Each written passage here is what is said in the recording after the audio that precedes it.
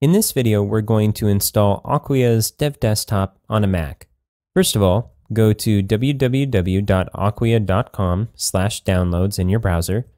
And then on this page, we're going to install Dev Desktop, which is right here.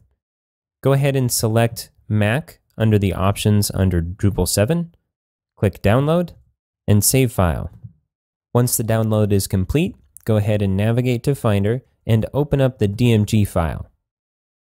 Next, go ahead and click the Acquia Dev Desktop Stack Installer. Click Next. Click Next again. Make sure Yes is clicked. When you come to the license agreement screen, click Next. And now you can select where you're going to install the applications that belong in the stack and where you're going to install your first Drupal site. Now in this series, we won't use our Drupal site directly, but in the future, if you use Dev Desktop for site building or development work, you can import sites from other locations on your hard drive as well, so you're not necessarily stuck to this location right now.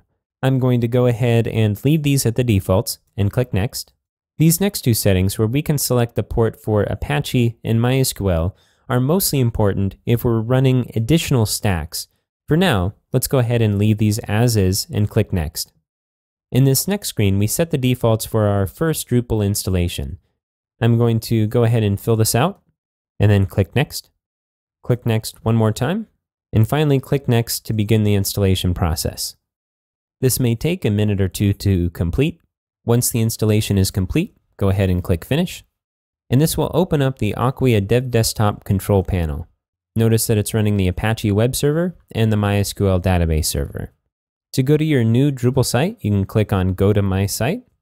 And from here, you can begin working on your Drupal site. Now this site runs off of Acquia Drupal, which is a little different than the Drupal that you would download from Drupal.org. In one of our next videos, what we're going to do is show you how to import a fresh Drupal site that we download from Drupal.org into the Acquia Dev Desktop so you can work with the non-Acquia version of Drupal as well.